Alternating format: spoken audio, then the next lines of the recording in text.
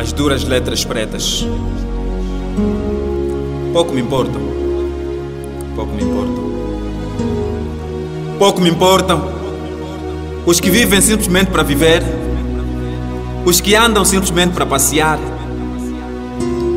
E os que se vestem simplesmente para aparecer. Não quero que me entendas, nem me compreendas. Se quiseres, fica aí. Fica aí. O santuário da tua Sagres Mini. Na sagristia da casa velho sangria. A peregrinação ao consumo todos os dias. Quando cair e falar à toa é a chola e a batina. Nas visitas pastorais em cada teu vaguear. Os meus ensinamentos que desistem. Em cada um dos teus negares. Na mensagem dos capítulos meus. Não quero que me atendas, nem me compreendas. Se quiseres, fique aí. Fique aí. Quando a razão confundida na ilusão te diz que estás certo e não errado, será que vale a pena ficar mudo quando és surdo? Ou Pôncio Pilatos, que só soltas barrabás, mandando assim crucificar a verdade verdadeira?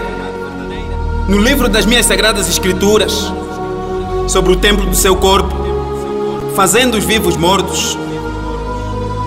Não quero que me entendas, nem me compreendas. Se quiseres, fica aí. Fica aí. O altar e o ambão das palavras que morrem nos ouvidos dos meus fiéis. Quando nádegas desenhadas pelo fio dental excitam o Espírito Santo, Santo, Santo, Santo. A tentação correspondida que sai e cai. Quando sou um, cumpre a prisão. E ainda me falam dos direitos iguais no terrível do meu aparecer.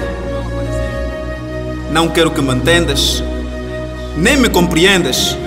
Se quiseres, fica aí. Fica aí.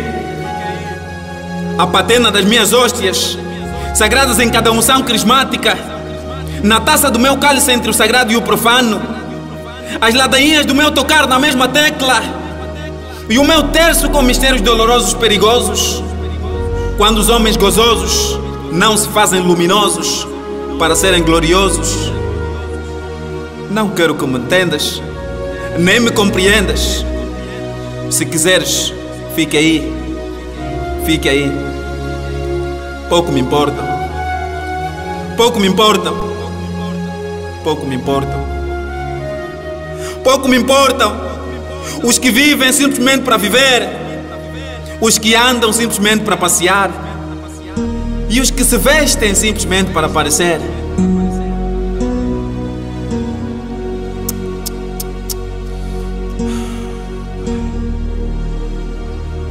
Andrade Ndambuelemoco, o poeta, o poeta da cibernética.